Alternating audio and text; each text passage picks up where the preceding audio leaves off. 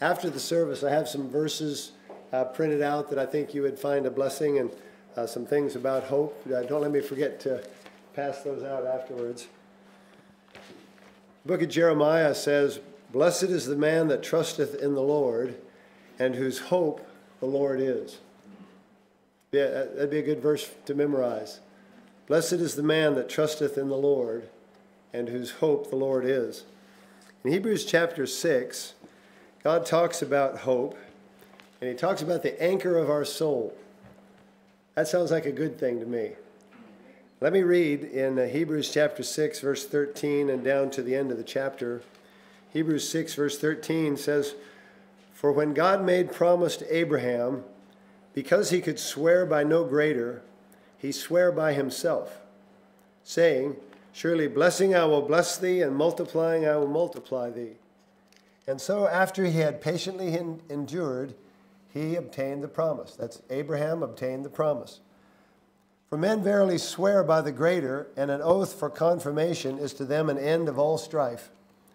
Wherein God, willing more abundantly to show unto the heirs of promise the immutability of his counsel, confirmed it by an oath, that by two immutable things, in which it was impossible for God to lie, we might have a strong consolation who have fled for refuge to lay hold upon the hope set before us which hope we have as an anchor of the soul, both sure and steadfast, and which entereth into that within the veil, whither the forerunner is for us entered, even Jesus, made an high priest forever after the order of Melchizedek.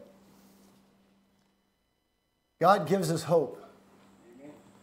Yeah, the, the picture I, I see there in, in verse 20, he talks about the anchor of the soul. It's like Jesus put the anchor over his shoulder, and as he went to heaven, he took that anchor and he put it in a rock, and that's, that's where it's been ever since. Jesus is our hope. He's the anchor of our soul. And he says, what he's saying here, and sometimes these words are a little bit hard to understand, but he, he's saying here that it's based on his character. You're basing your hope on the very character of God. And he uses the word there, immutable. That word means unchangeable. God's character cannot change. He, he never has a bad day. You know, God is always good. God is always good. And God is always holy and great. And uh, our hope is in that rock, the rock of our Lord. It's based on his character, it's the anchor for our soul. What a blessing as you think about that. And right through Scripture, there's, there's verses that talk about this hope we have because it's found in the Lord. Now, some of these verses I've, I've written out so that I can just read them to you. For instance, Psalm 43 5, the writer asks himself, Why art thou cast down, O my soul?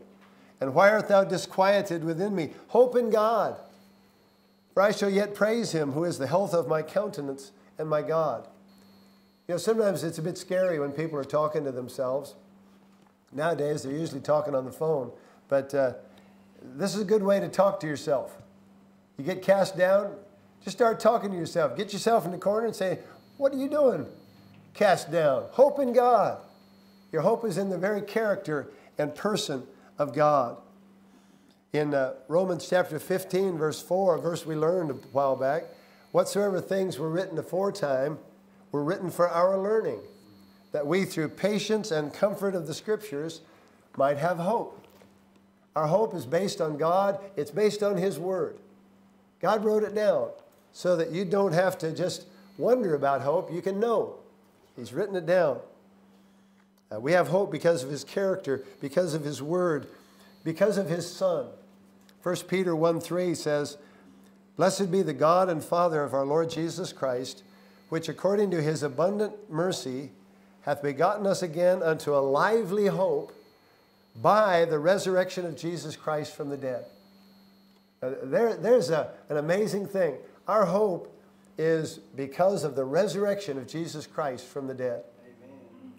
Amen. And uh, like he says in Corinthians, if Christ is not risen, we are of all men most miserable. Well, listen, Christ is risen, and we have hope because of it. What a blessing. Uh, we have hope because of God's Holy Spirit. Man, you can, you, can, you can look at every aspect of God and see what our hope is. Romans 15, 13. Now the God of hope fill you with all joy and peace in believing, that you may abound in hope through the power of the Holy Ghost. We don't have, just have hope, abound in it. We have so much we can share it with others. That's a blessing, isn't it? Uh, the hope that we have is, is based on our Lord. I, want to particularly take some time tonight and look at three particular areas. If you're saved tonight, you have hope because of God's presence. God says that when you get saved, He takes up residence in you. That's kind of spooky. That's kind of strange. But boy, I'm glad. Uh, he says in 1 Corinthians 1.27, to whom God would make known what is the riches of the glory of this mystery among the Gentiles, which is Christ in you, the hope of glory. He said, that, that's a mystery. That's a, that's a strange thing that the world can't understand. Christ in you, the hope of glory. And what a blessing that when, when we trust Christ as our Savior, He, he comes in. Uh, 1 Corinthians 6.19, what? He puts it as a question. What? Know ye not that your body is the temple of the Holy Ghost, which is in you, which you have of God, and you're not your own? Don't, don't you understand that? you're a Christian. God's in you. Uh, you have hope because of God's presence. Look with me, if you would, in Matthew chapter 14. And I, I want to illustrate this and, and expand it a little bit. Ma Matthew chapter 14 is the account when the disciples are in the boat and Jesus comes to them walking on the water. Matthew chapter 14. Let me read starting in verse 22 says, And straightway Jesus constrained his disciples to get into a ship and to go before him on the other side while he sent the multitudes away. And when he had sent the multitudes away, he went up into a mountain apart to pray. And when the evening was come, he was there alone. But the ship was now in the midst of the sea, tossed with waves, for the wind was contrary. And in the fourth watch of, of the night, Jesus went unto them, walking on the sea. So here's the, here's the setting, the setting. They're in a storm, and Jesus is coming up to them walking on the sea. Now, their reaction is, verse 26, when the disciples saw him walking on the sea, they were troubled, saying, It is a spirit, and they cried out for fear. Here's these tough fishermen. They're, crying. Whoa! I can't do it because of my voice, but uh, they, they were upset. Now, Jesus' presence can be a little bit frightening at times. I mean, let's just be honest about it. God's presence can be a little bit scary. He, he's so uh, amazing. Um, some people get angry at God's presence. You know, God's Holy Spirit begins to convict them of sin. Uh, you, you ever known somebody under conviction? You, you, don't want to be in the same house with them. Uh, man, they, they, can be hard to live with. Uh, it can be tough. But listen, when, when God comes to you, he then speaks to you. Look at the next verse, verse 27. Straightway Jesus spake unto them, saying, Be of good cheer, it is I, be not afraid. Those are, those are comforting words. Be of good cheer, it is I, be not afraid. Um, we need to understand that salvation comes when we recognize that truth, it is I. Who it is that's come to us. Uh, Jesus comes to us and, and encourages us uh, Peter, in the next verse, answered him and said, Lord, if it be thou, bid me come unto thee on the water. Uh, when you know it's Jesus, you don't have to be afraid. You know, it, it's a scary thing for a, a person to come to a point in their life where they realize, I'm bound for hell. These people, this preacher, this Bible, they've been saying I need to trust Jesus. Uh, man, that, that's a scary thing. It's a commitment for life and for eternity. And a lot of people, you know, they're, they're like those disciples. They, they don't know what to do. But Jesus speaks to us. He speaks to us through His Word. He speaks to us through His Holy Spirit. He says, It's I. Come unto me. Let me give you rest. Let me help you. When He speaks, you'll know what to do. Uh, verse 28 Lord, if it be thou, bid me come unto thee on the water. He said, Come. And you know, that's still Jesus' call today. Come, come unto me. And what a blessing. He says, if we'll come to him, there's no one who'll refuse. I've talked to people who said, Oh, I'm too sinful. I, have done too much. It, you know, I had this opportunity. Listen, Jesus says, Come. He says, I'll not refuse you. I'll not refuse you. If you're not saved, invite him into your boat. John 1:12 says, "But as many as received him, invite him in, receive him. To them gave he power to become the sons of God, even to them that believe on his name." Now, I know it doesn't apply exactly, but in Revelation 3:20 he uses uh, the picture of standing at the door of a church and knocking. Well, you can picture that as your own heart. He, he's calling. He's, he's wanting entrance. And when you receive him, he changes you. As many as received him, to them gave he power to become the sons of God. God changes us. You become God's child. Uh, Corinthians, he says, Therefore, if any man be in Christ, he's a new creature. Well, who makes you new? God does. It's not by human efforts, not by works of righteousness, which, which we've done. The Bible says he takes up residence and he'll never leave. Uh, the book of Hebrews, he says, I found this interesting. I, I, I always quote the end of the verse, but the beginning of the verse, he says, Let your conversation be without covetousness, and be content with such things as you have, for he hath said, I will never leave thee nor forsake thee, so that we may boldly say, The Lord is my helper, and I will not fear what man shall do unto me. Isn't it interesting? The contrast he makes there between trusting the Lord and being covetous trusting the world. Uh, maybe that's been your case. You've been trusting the world. You've been looking for the world to bless you. Listen, uh, the world will eat you up and spit you out. God will save your soul. God loves you. Um, when you trust Him, He says, I'll never leave you or forsake you. We have hope because of His presence. But even more than that, we have hope because in His presence, He communicates to us, He speaks to us. That's one of the many promises that, that he makes. You know, if a person can lose hope, the reason is they've never really had hope. In, in Ephesians, uh, he says, Ephesians chapter 2, verse 12, At that time you, you were without Christ, being aliens from the commonwealth of Israel and strangers from the covenants of promise. Uh, you remember Hebrews? He talked about the covenant he made with Abraham and you know, that promise was good because of God's character and his God's oath.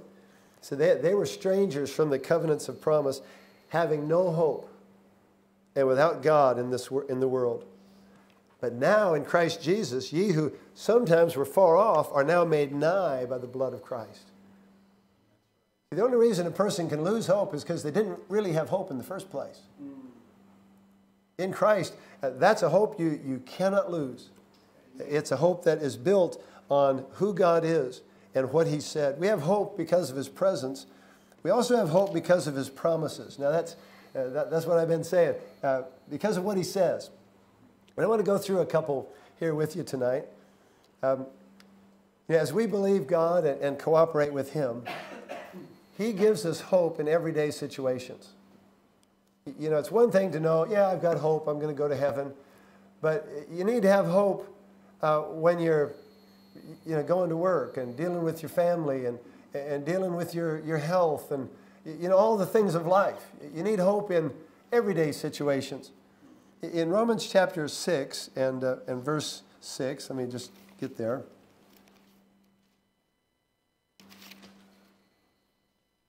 Romans chapter 6 and, and verse 6. Here's a blessing. God says, when you trust Christ as your Savior, you have freedom from the power and penalty of sin. Romans 6, verse 6. Knowing this, that our old man is crucified with him, that the body of sin might be destroyed, that henceforth we should not serve sin. For he that is dead is freed from sin. Our old man crucified with him, freed from sin. Uh, verse, all of these verses apply, but uh, verse 13, I think, or 14 for sin shall not have dominion over you, for you're not under the law, but under grace. Yeah, what a promise. God says, when you trust Christ as your Savior, you die with Christ.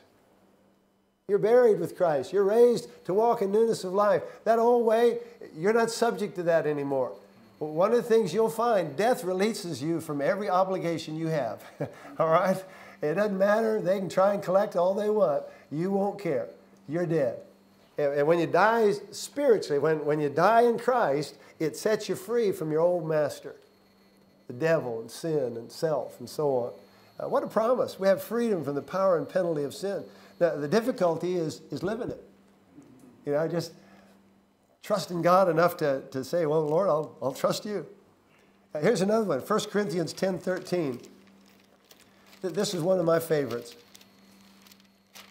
I guess at some time I, always, I probably say every one of them is my favorite. I don't know. 1 Corinthians 10 13. There hath no temptation taken you, but such as is common to man. Now, what that phrase is saying is, you're not the Lone Ranger, okay? You're not the only one's ever been tempted like this. It's common. But God is faithful, who will not suffer. That means allow. God won't allow you to be tempted above that you're able, but will with the temptation also make a way to escape, that you may be able to bear it. Wherefore, my dearly beloved, flee from idolatry. Here's a promise from God. He says, You'll never be tempted above that you're able. You know, sometimes we, we call God a liar. We say, Oh, it was just too great a temptation. I couldn't resist it. Yes, you could if you're saved. God says there's, there's a way of escape. What a blessing. Uh, in Hebrews chapter 4, he tells us that he personally helps us in our times of need. Hebrews 4, verses 15 and 16. Here's another precious promise. For we have not an high priest which cannot be touched with the feeling of our infirmities. That's saying he understands what you're going through, but was in all points tempted like as we are, yet without sin.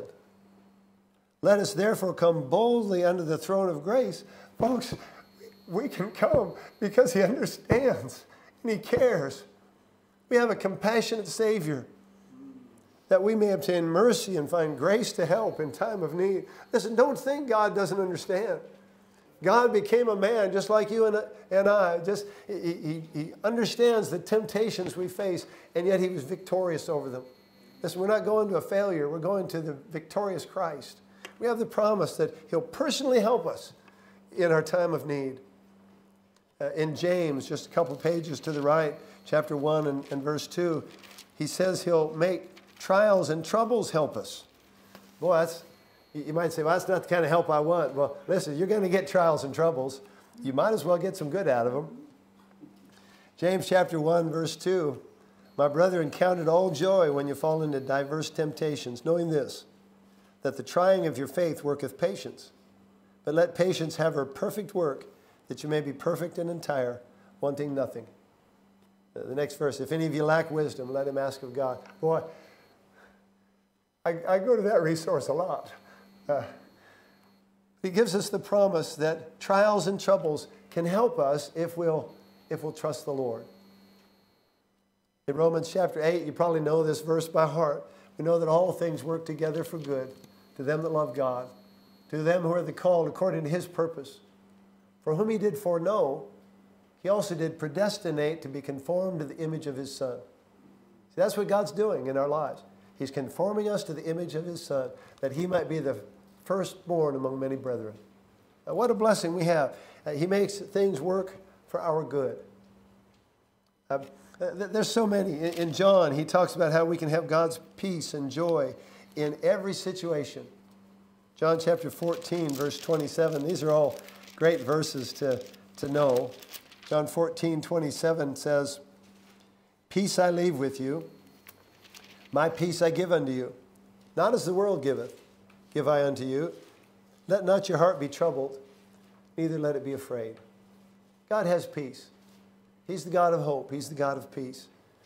Quite often in, in John, he says things like that. John 15, 11. These things have I spoken unto you that my joy might remain in you and that your joy might be full. John 16, 33. These things I've spoken unto you that in me you might have peace. In the world ye shall have tribulation, but be of good cheer. I've overcome the world. It's I, be not afraid. you know, what a blessing as, as we see that the Lord is with us. The Lord is speaking to us. He's given us promises.